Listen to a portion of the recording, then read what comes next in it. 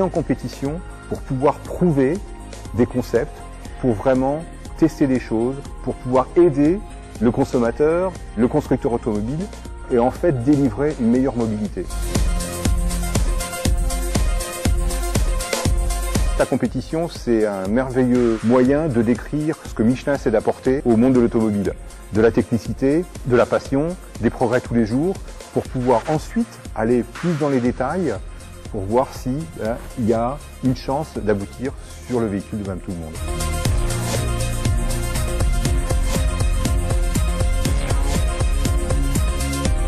La compétition chez Michelin, c'est environ 150 personnes avec des métiers très divers.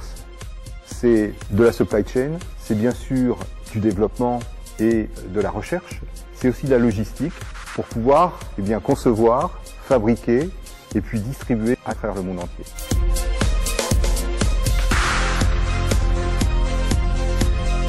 Michelin a mis en place un vivier de jeunes ingénieurs euh, qui travaillent sur des projets communs entre euh, le centre de technologie et la compétition.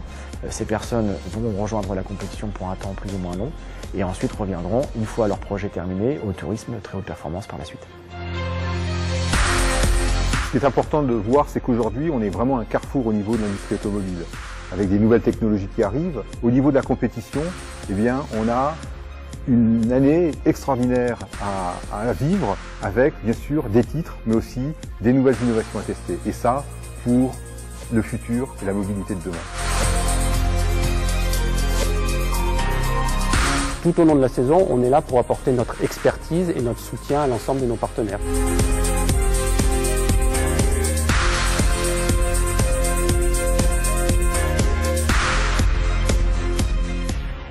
Michelin. Wir bringen sie weiter.